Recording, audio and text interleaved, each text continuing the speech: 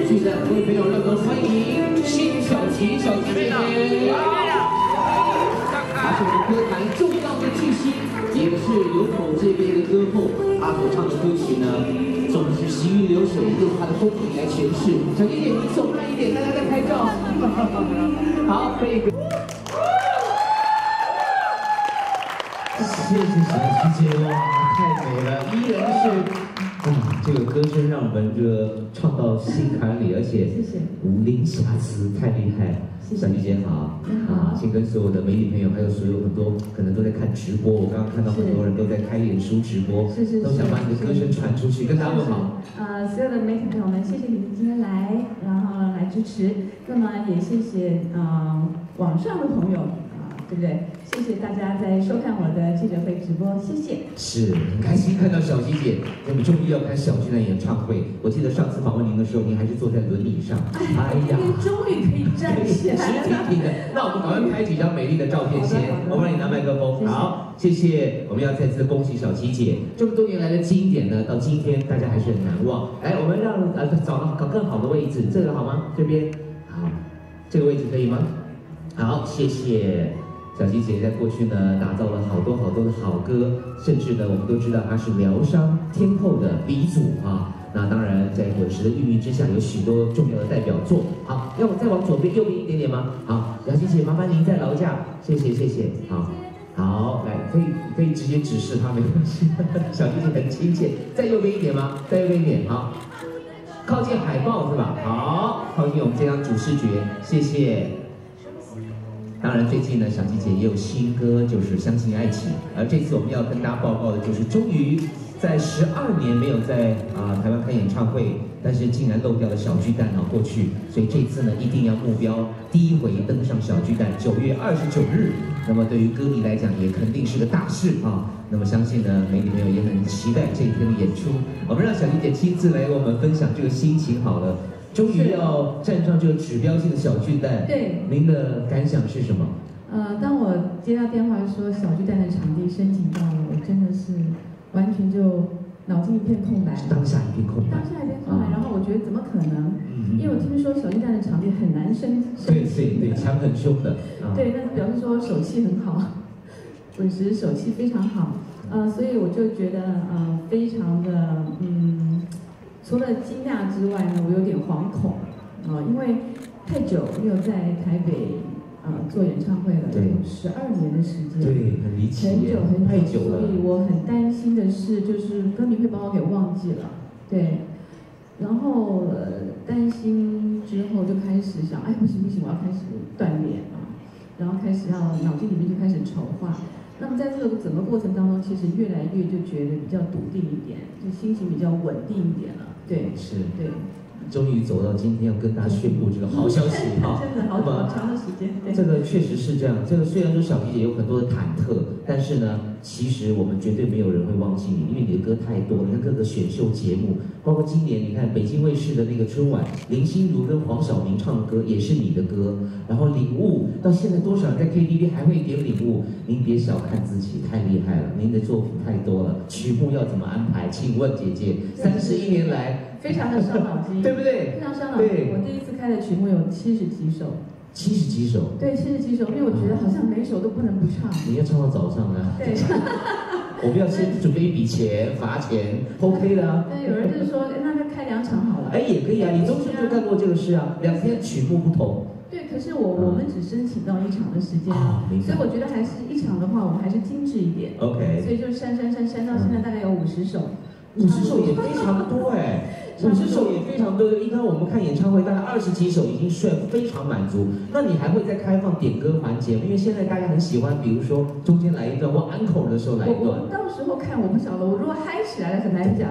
可是那这样子那个啊滚石就就伤脑筋了，可能要被怎么样被罚钱了。不会，我觉得滚石上上下下也都在等待这一天的到来。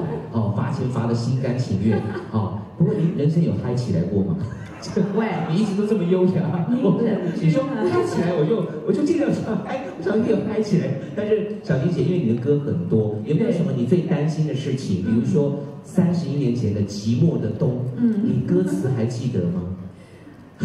哎，老实说，那个是我啊那个时候非常非常用心的第一张哦，是搞啊不，好还记得耶。你现在还有印象吗？第一句是寂寞在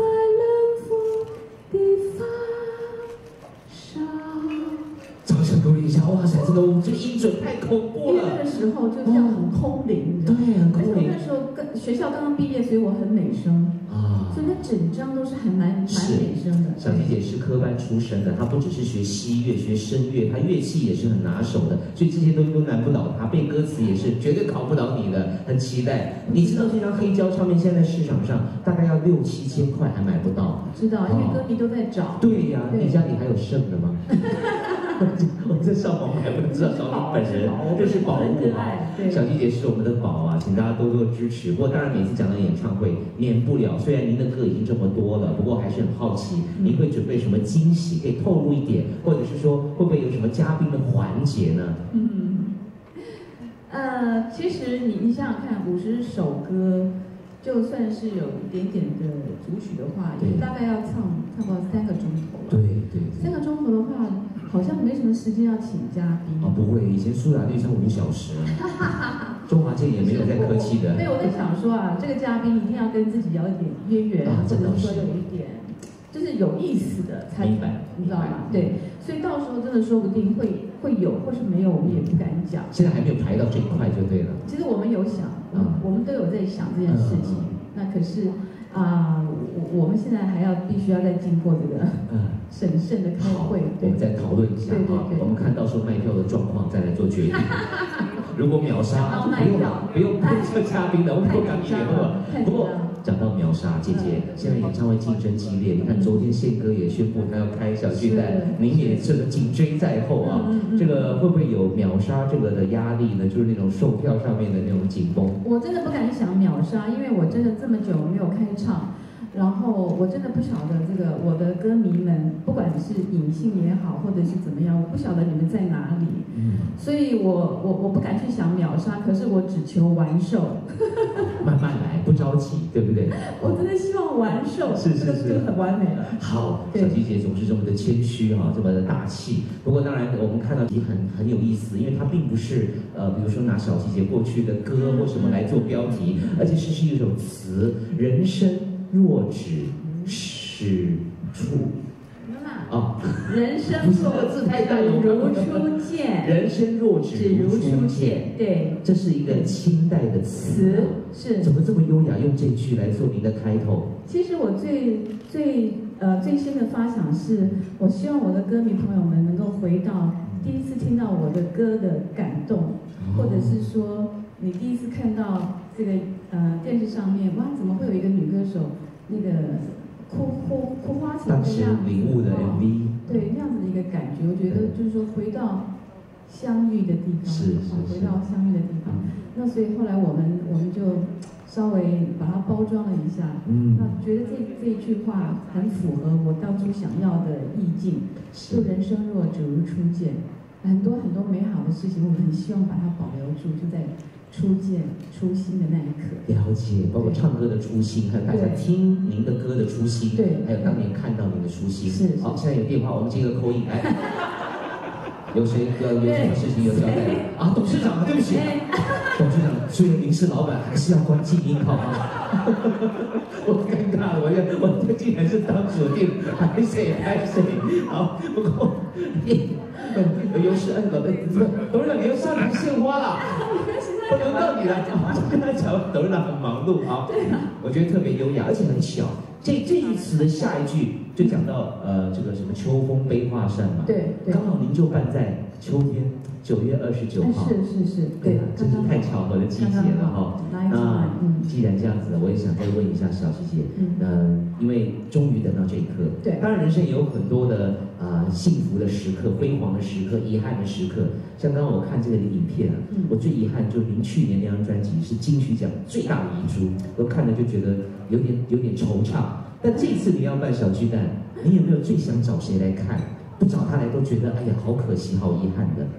其实老实说还好耶，我觉得，我觉得我办演唱会，我真的很希望就是我真真正的粉丝，就是知音的朋友们都能够来，啊，因为我觉得这是最我重要的。我的歌歌，我的人他们懂，对，一定要唱给懂的人听，这样子，对。所以如果他们都能够来，我就非常的满足。这就是最最最棒的一刻。对对对，最好的聚会。是是是是，所以人生就没有什么太大的遗憾。嗯嗯，你要说遗憾的话，其实是有，就是说我当然会希望，就是说在我人生当中这么重要的时刻。你说我这个走了三十一年啊，我才走到这个小巨蛋。那我当然会希望，就是说我的父母亲可以到，可是真的来不及了，没有办法。所以，可是我相信他们那一天他们会听到的，对，因为他们是最支持我的，最喜欢听我唱歌的。是是，其实父母虽然离开，但他们反而幻幻化成这个无形的陪伴，他们反而可以来去自如。搞不好现在他们也有来看你的，其实啊，相信他们一定会陪着你上小巨蛋。欢迎所有歌迷，九月二十九齐聚巨蛋，给小希姐加油记得要关静音再进场哈。我们请这个董事长上台说几句话来欢迎滚石大家长华人音乐界的传奇。